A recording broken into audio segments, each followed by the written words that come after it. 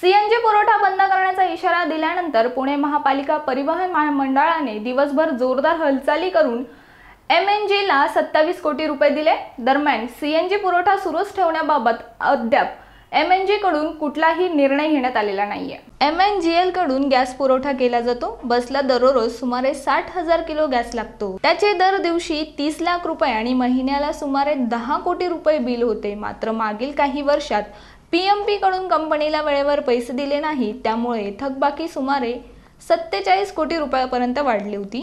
त्यामुळे व्याज आणि जीएसटीचे सुमारे एकवीस कोटी रुपयांचा समावेश आहे. या पार्श्वभूमीवर मागील आठवड्यात एम एन जी एलने गॅस पुरवठा बंद करण्याचा निर्णय घेतला होता. त्यानंतर तातडीने हालचाल होऊन पीएमपी कडून सत्तावीस कोटी रुपये कंपनीला दिले गेले.